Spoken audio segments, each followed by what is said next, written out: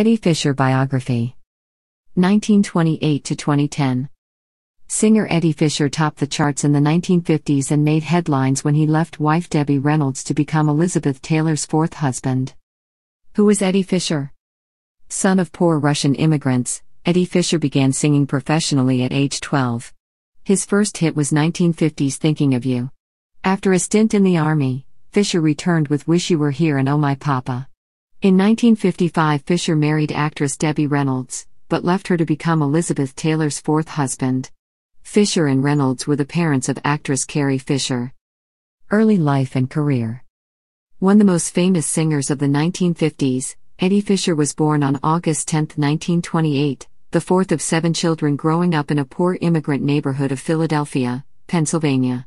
Fisher's parents, Kate and Joe Fisher, were both Russian born Jewish immigrants, and his father worked first in a leather factory and later peddling fruits and vegetables from the back of his car. Fisher's family was extremely poor, moving frequently to avoid eviction and subsisting for a time on welfare payments.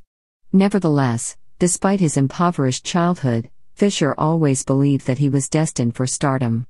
He recalls, somehow, though, somehow I knew I was going to get out of that world, and I knew that my voice was going to take me out of it. Nicknamed Sonny Boy, Fisher discovered his natural vocal talent at a very young age. He remembers, when I was a small child, I couldn't have been more than three or four years old. I opened my mouth and this beautiful sound came out, and, for me, the world was changed forever. Fisher's was a natural talent that required little training or polish. He never once took a voice lesson, I didn't have to work at it, he says, I didn't even have to practice. Fisher claims that this vocal gift was responsible for shaping the entire course of his life, everything that has happened in my life, the fame I've enjoyed, the fortunes I've earned, the marriages, the affairs, the scandals, even my drug addictions, everything I owe to the fact that when I opened my mouth, this sound, this music, came out. Fisher entered his first children's talent show at the age of four and won first prize a large cake. After that, he says, my mother entered me in every amateur contest she heard about and I usually won. Fisher began singing professionally as a 12 year old in 1940, debuting on local Philadelphia radio station WFIL's program When I Grow Up. For the next several years, Fisher performed on local radio shows such as Magic Lady, Junior Music, Hall, and Teen Time, earning about $25 per week. As a teenager, he tied for first place on the popular radio talent competition, Arthur Godfrey's Talent Scouts. Already a local star, Fisher dropped out of high school during his senior year to pursue a full time music career. Fisher says his parents accepted his decision because the money he earned through his singing helped lift the family out of poverty. It was not at all unusual for children of poor immigrants to quit school to help support their families, he recalls. Personal struggles. However, Fisher's remarkable early success as a singer and performer has been largely overshadowed by his turbulent personal life. Fisher married singer and actress Debbie Reynolds in 1955, and they had two children, Carrie Fisher and Todd Fisher. Fisher then became embroiled in one of the greatest Hollywood love scandals of the era when, after the death of his close friend Michael Todd, Fisher began an affair with Todd's widow, the movie star Elizabeth Taylor. Fisher divorced Reynolds and married Taylor in 1959, with the pair staying married for five years until Taylor left Fisher for actor Richard Burton.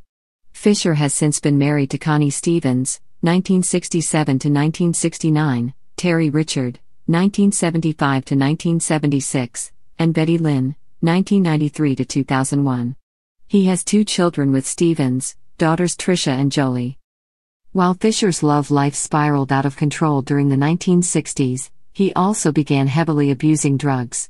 The drugs and women, combined with the ascendancy of rock and roll, marked the end of this crooner's time atop the popular music charts.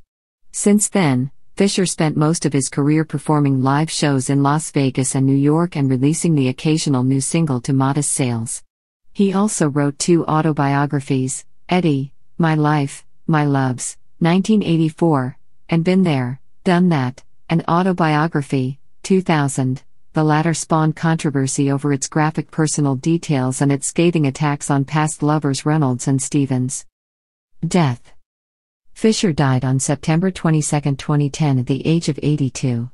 He passed away at his home in Berkeley, California, after health complications from hip surgery.